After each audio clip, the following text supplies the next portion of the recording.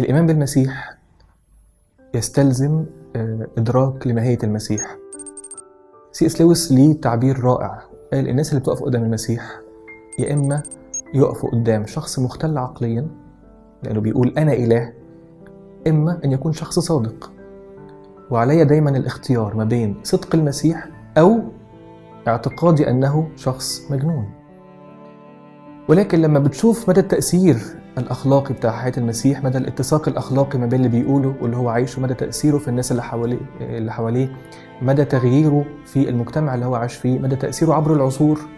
مش ممكن ينتج هذا التأثير المشع عبر العصور من شخص مختل أخ... ذهنيا أو مختل عقليا. فما بقاش قدامي خيار تاني غير أن يكون المسيح هو إله. فمفيش منطقة رمادية مفيش منطقة في الوسط. الإيمان هو تحدي. أن تؤمن أن المسيح إله أو تؤمن أن هذا الشخص مختل لأنه قال كلام لا يمكن أن يقبله عقل. إذا كان هذا الشخص متسق مع نفسه أخلاقيا ومتسق مع اللي بيقوله أخلاقيا ومتسق مع تأثيره عبر العصور وبنشوف تأثير الكلمات بتاعته عبر العصور في تغيير البشر ده معناه أن هذا هذا الشخص هو مش إنسان طبيعي أو مش إنسان عادي أو بالتأكيد إله. وتكلفة ده هو تبعية. تبعية يعني طاعة. مش مجرد إن أنا آمنت أن المسيح هو الإله هو المخلص. طب وبعدين؟ ده فورة إيمان أو لحظة إيمان أو انتعاشة إيمان.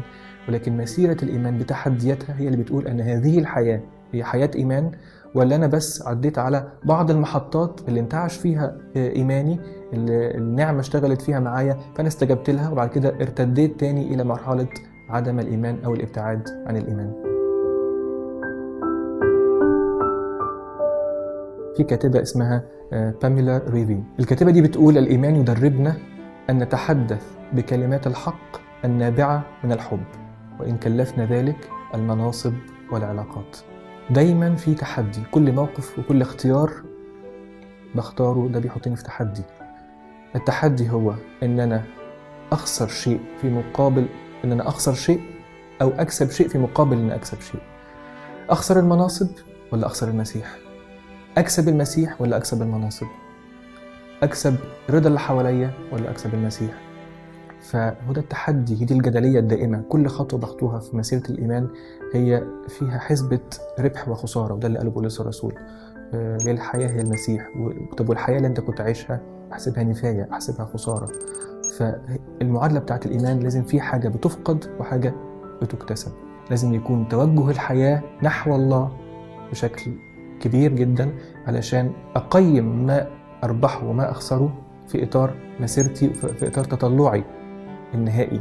هل هو تطلع مرتبط بما هو زمني ما هو أرضي ما هو محسوس ما هو للذتي ما هو لشبعي الشخصي ولا هو مرتبط بحياة وبكينونة وبوجود أعظم وأكبر من ده كله؟ الوعي الجديد يكشف لي من أنا. الإيمان مكلف ولكن التكلفة بتاعته أنا مش بدفعها لوحدي.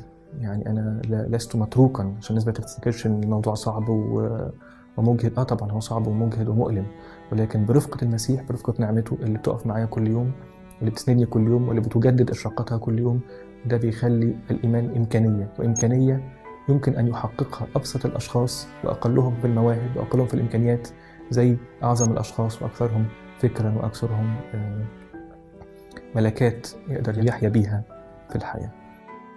الإيمان فعل شخصي وفعل جماعي